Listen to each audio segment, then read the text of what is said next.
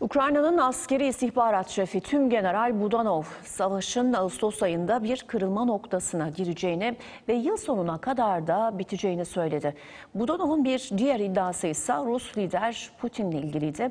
Budanov, Putin'in kanser hastası olduğunu öne sürdü Давно кажемо, що Aktif muharebe eylemlerinin çoğu bu yıl sonunda bitmiş olacak. яку намагається на всіляких Ukrayna'nın askeri istihbarat şefi Tümgeneral Krilo Budanov, savaşın yıl sonunda biteceğini bu sözlerle duyurdu. дій завершиться до кінця цього року. Sky News'a röportaj veren Budanov, Rusya-Ukrayna savaşına dair önemli açıklamalar yaptı. Henüz Rusya planlarını yaparken biz biliyoruz diyen Tümgeneral, doğuya kaymasına rağmen taktikleri değişmedi dedi.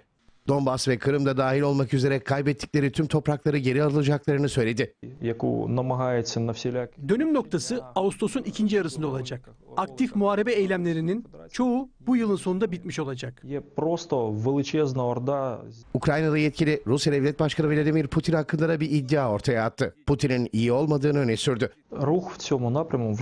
Putin'in psikolojik ve fiziksel durumunun çok kötü olduğunu teyit edebiliriz. Çok hasta.